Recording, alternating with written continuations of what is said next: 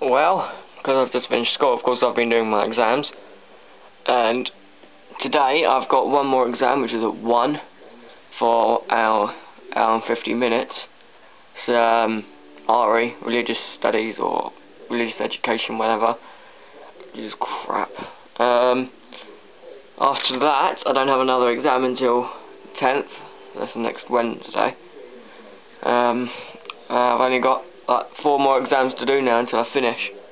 These are all ones I've already done.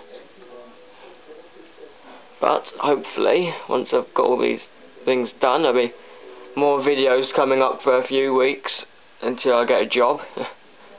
um, or go to college. Of course, I'm still waiting for a letter from college, and I'm also waiting for a fucking check. Oh well, I should get my check in the post now, so I'm waiting for that. And I'll see you later. Oh, post here. Wait, let's go see if it's there. Oh, look, that's looking promising. Hey, it's here. Hey, I got a check. What's that one? What is it? I don't know. Hey, I got a check.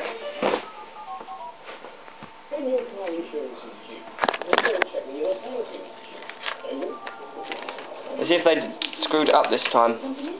Well, they have screwed up. They've done it to people before.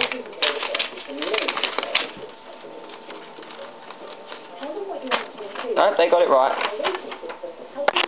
No, no, with NatWest. That's a bit of a bugger. I was hoping if it was done by Barclays, then I'd be able to go and get my bloody... I'd be able to pay into my mum's bank account and get the money the same day. So, it's a bit of a bitch. But, I it's a bit of a bitch because my mum could have paid that into my account today if they'd delivered it earlier. Oh well. This money. Then that means goes from a sheet of paper to a go-kart. That'd be cool. Not looking from here, my go-kart looks a lot shorter than what it should be. I've got to move the seat back and one of the welds for the seat came off. So I'm going to re-weld that. Oh well.